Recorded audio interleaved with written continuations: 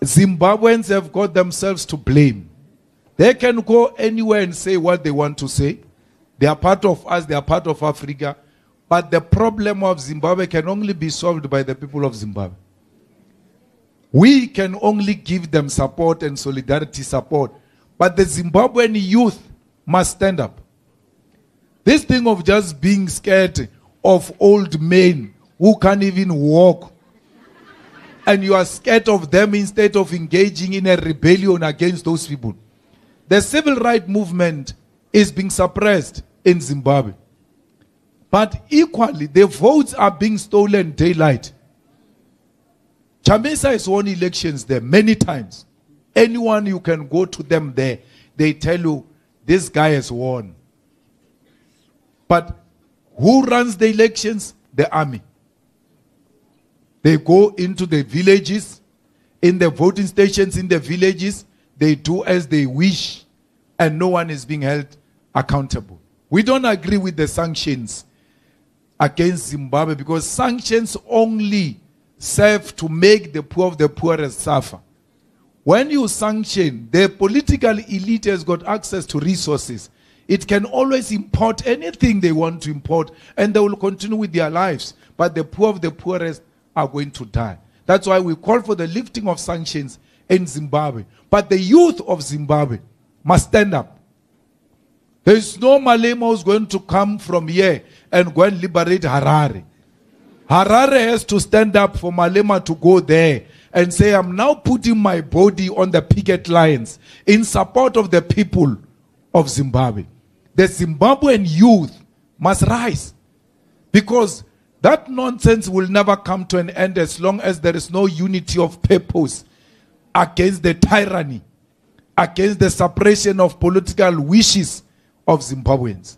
So, ourselves at Pan African Parliament, at the AU, at SADC, we have to have a political will to speak for the people of Zimbabwe. When it comes from us, it will have more weight than when it comes from Europe. Why? Because we're brothers and sisters, they will know it's a friendly fire. But SADC, AU, South Africa, they are failing Zimbabweans because it's a bruise up.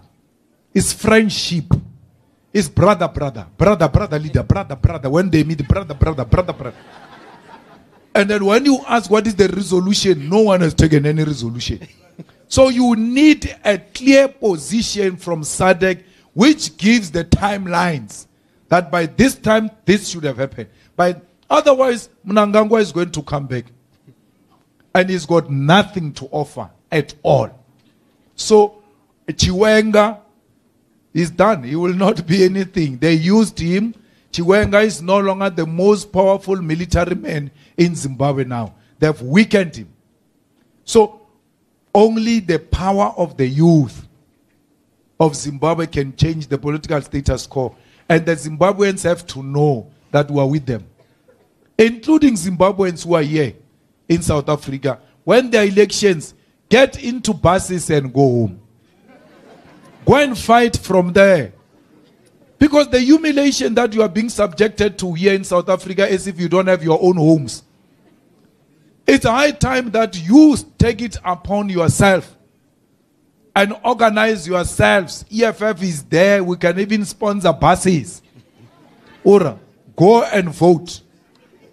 If you are here to study, you can come back, study, no problem, but go and vote. So that we know that at least you are also doing something. The humiliation and the violation that Zimbabweans are being subjected to, highly educated individuals and human beings, it's not what a human being must be subjected to.